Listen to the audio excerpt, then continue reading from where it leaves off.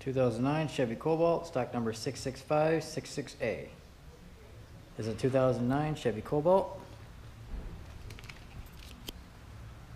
It's got great paint. Nice wheels. On the back, everything's straight there. Plenty of room in the trunk. These here are your, what you pull to put your back seats down. Nice wheels, decent tires. Nice interior.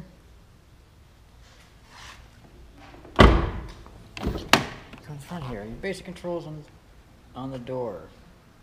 Manual seats. You get your, all your info. Various menu buttons right there on the steering wheel. CD player, radio.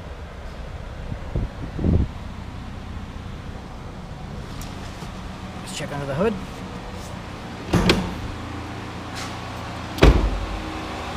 Nice wheels, just tires.